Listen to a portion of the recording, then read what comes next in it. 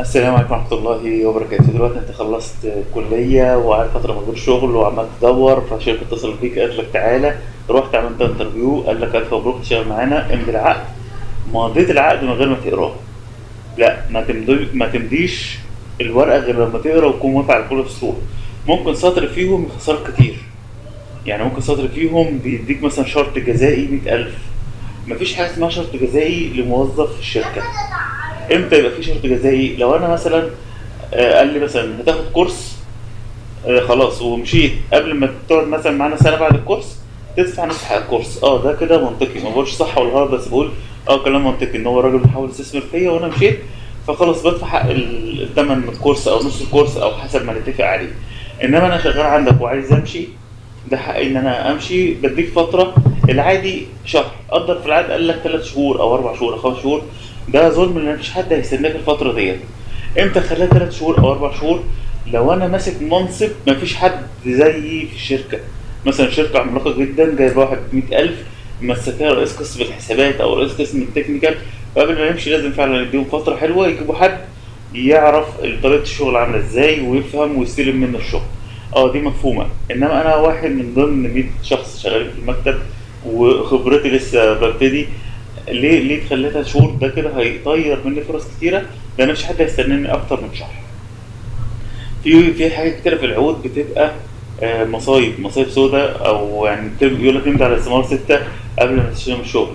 استمرار ستة مش استلام استمرار ستة إن أنت خلصت الشغل ومالكش فلوس عندهم. فلما تيجي تمشي تطالب بالمرتب وتطالب بكذا يقول لك هو أنت ماضي استمارة ستة. فلا لو لقيت شركة بتقول لك امضي استمارة ستة فاعرف إن الشركة دي مش ماشية كويس مش ماشية مظبوط. تمام؟ أنا كنت رايح شركه على مرتب كويس جدا وبعد كده لقيت في الورق قلق قلت لهم لا خلاص ما ما ولا يوم في الشركة. تمام؟ فلو لقيت أي سطر مش واضح روح لل HR أو ال procurement أو للشؤون القانونيه هناك وقول لهم السطر ده مش واضح. تمام؟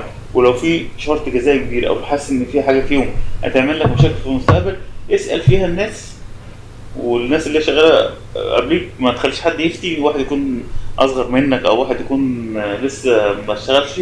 لا اسأل الناس تكون شغال بقالها فترة الحاجة دي هتعمل لي مشاكل في المستقبل ولا لأ؟ لأن ممكن سطر يضيع لك حقوقك. يقول لك مثلا لو مشيت قبل ما تقول لنا مثلا ثلاث شهور ه- هنخصم منك مرتب ثلاث شهور أو هتدفع لنا مبلغ كذا.